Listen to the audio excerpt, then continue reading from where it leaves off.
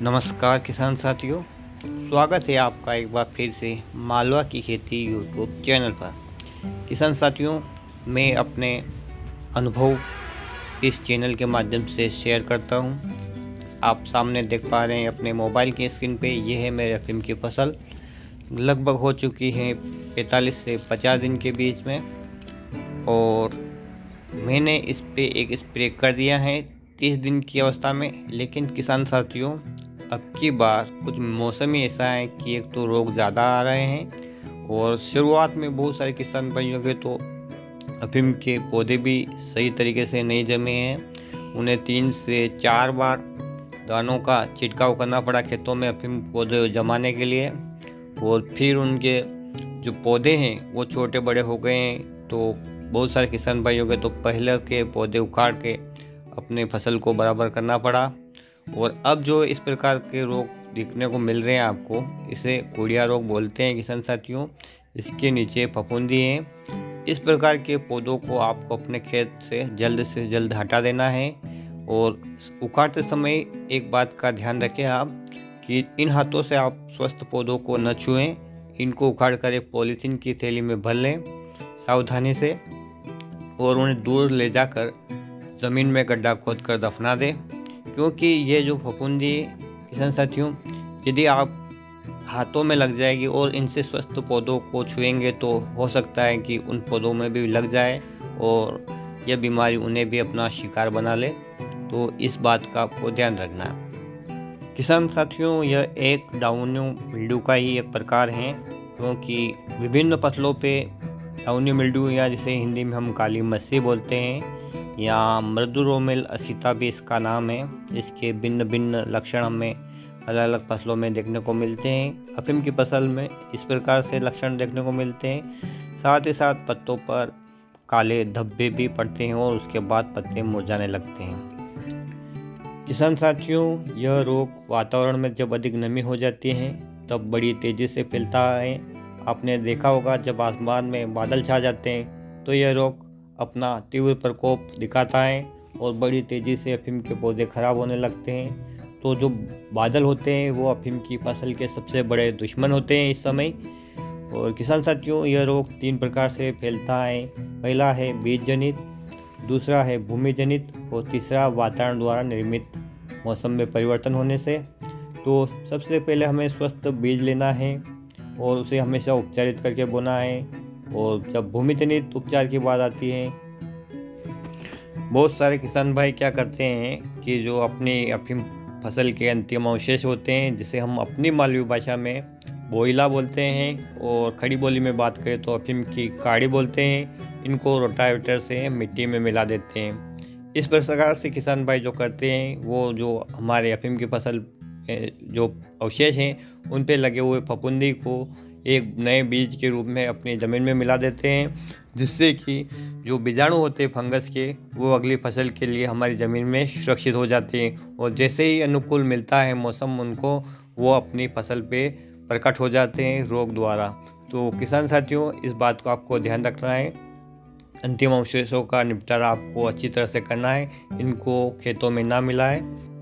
रही बात भूमि उपचार की तो इसके लिए आपको अपने अफीम की फ़सल में दूसरी या तीसरी सिंचाई में आपको फंजीसाइड की ड्रेंचिंग करना है।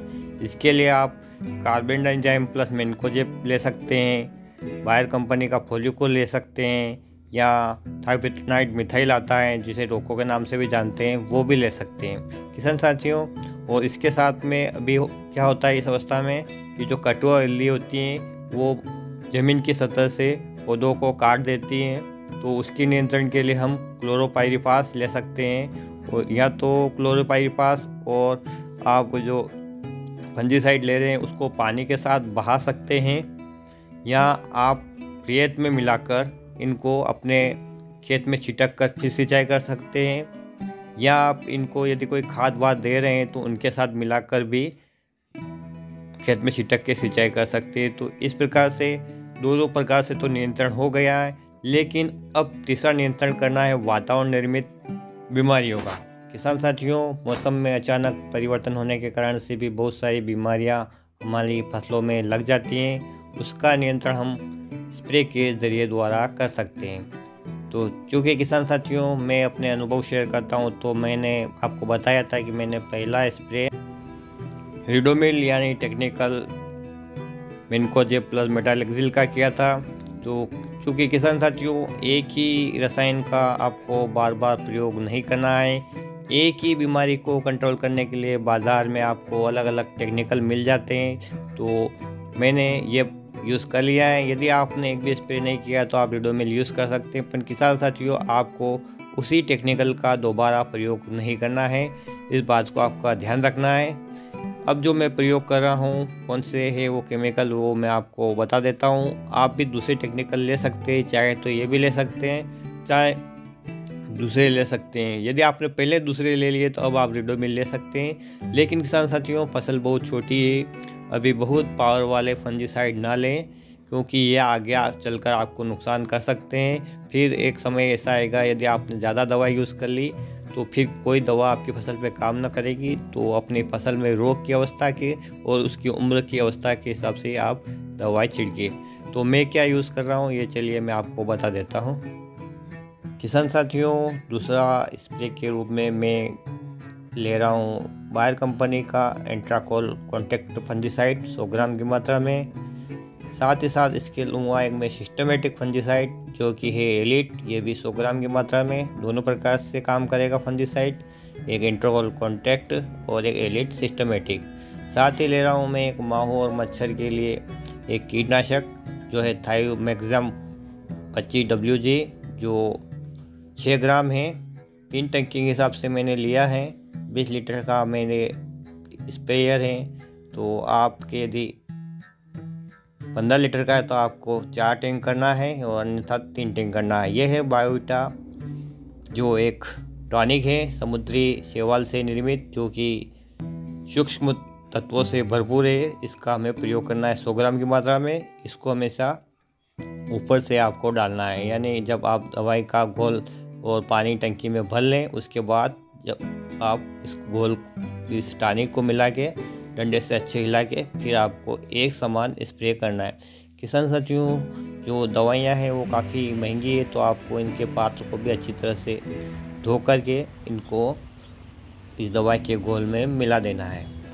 दवाई का गोल टंकी भरते समय आपको इस बात का ध्यान रखना है कि पहले आधी टंकी पानी की भरने के बाद आपको दवाई का आवश्यकता अनुसार घोल टंकी में डाल के, बाकी आधी टंकी पानी की फिर से भर देना है। फिर पानी डाल के आपको डंडे से अच्छे हिलाकर फिर आप दवाई का स्प्रे कर सकते हैं। किसान साथियों, दस आरी के लिए आपको इस अवस्था में कम से कम तीन टंकी जो 20 लीटर की हो, उतने पानी की आवश्यकता होगी। और यदि आपका जो स्प्रेयर है, वो 15 लीटर का तो आप इसमें चार टंकी कर सकते हैं। किसी भी अवस्था में किसान भाई पानी कम न लें, दवा अधिक डाल के टंकी की संख्या की मात्रा कम न करें, आपकी फ़सल को नुकसान हो सकता है।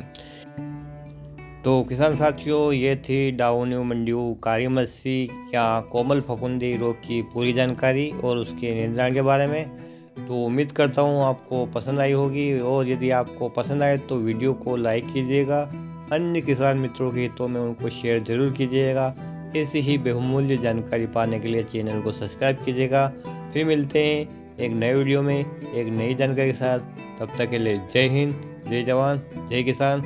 आप स्वस्थ रहे और आपकी फ़सल स्वस्थ रहे इसी कामना करता हूँ। जय हिंद।